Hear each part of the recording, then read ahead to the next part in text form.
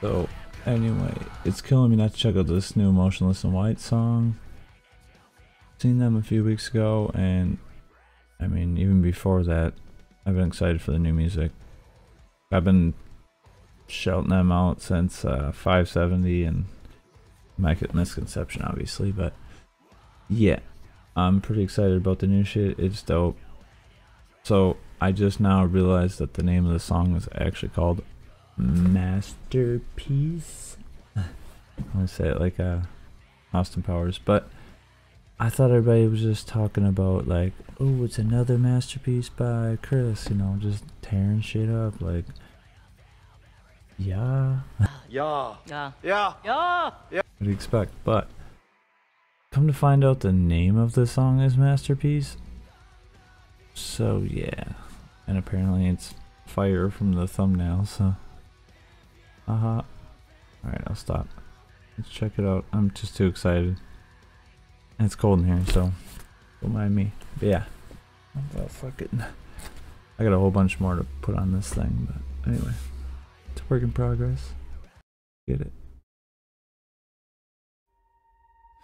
All the stupid lies and the stupid games left a vacancy. It's the only thing I did.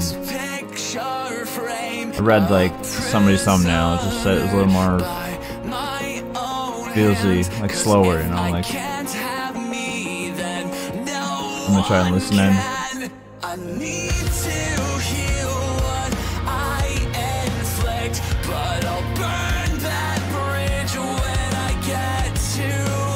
can.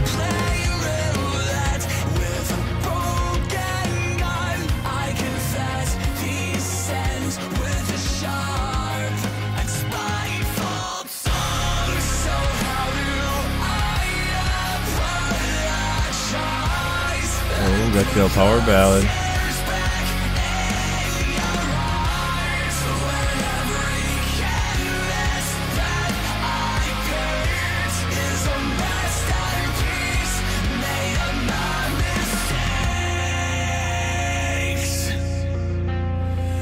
Outlined I gotta pay attention to the lyrics more.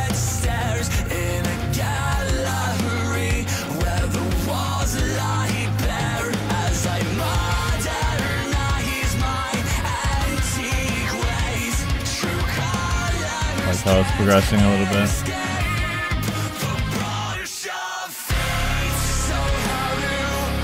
That really distant scream in the background. This mixed just right. Impactful.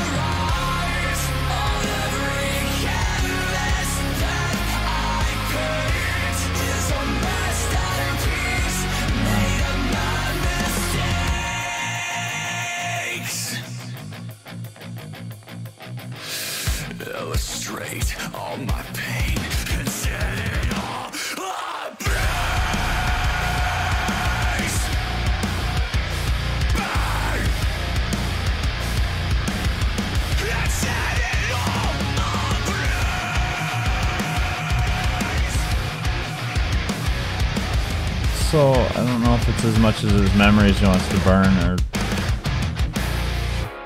So how do I? Parts of the past of him. the tears back in your eyes. things he's done.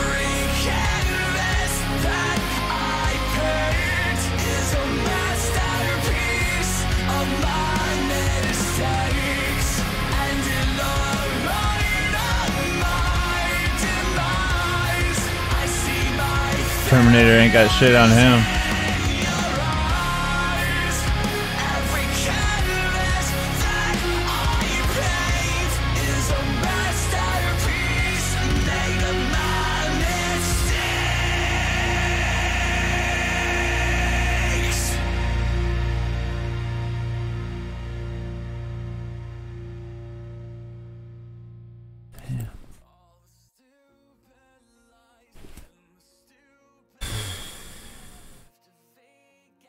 Like with how chaotic and shit everything's been for me and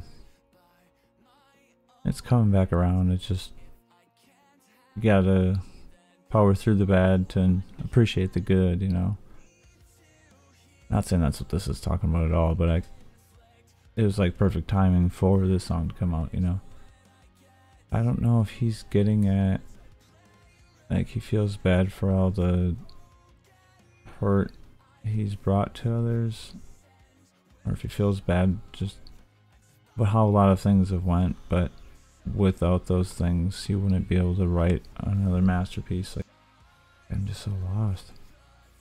And obviously it's there's some demons at play but so there's gonna be so many different interpretations of the song i think. I'm curious to know what his like personal one is whether it's out there or not. That's his own deal i don't think he needs to if he doesn't want to but I think that this song will touch home to so many different people and just make them not feel alone, you know? Like, everybody looks up to how much they've been blown up and he's this crazy, iconic person, you know, that I've kind of been saying this whole time, but nobody wanted to listen till last couple years, but it's neither here nor there. Um, fuck, where's it going? Squirrel? Oh yeah, but he he's just human too, like everybody else. We have our shit days, we have our good days. I just love how it doesn't really matter what he makes. Man, that's really just got me mind fucked now. I, I need to look more. I just gotta read the lyrics, okay.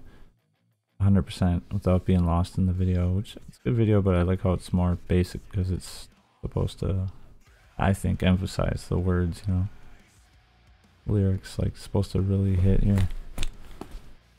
I mean, obviously means something to him. But anyway, I'll be back with more vids. Let me know what you think of this video down in the description. Below, I will have the link for the original song and their album, Scoring the End of the World. You can pre-order their album, comes out June 10th. go see them live. They're touring. I'm sure if he's got an album coming out, it's gonna happen past the Trinity of Terror, which was a really good, really good show, by the way. So yeah, I'm excited to see what else this dude has. We'll be checking it all out, I guarantee, on here, and I'll be getting more videos up as I go. It'll be a lot some days and might take a day or two, but it's just my busy work schedule. But I'll We'll get on top of it. Until next time, this is Eric Ink.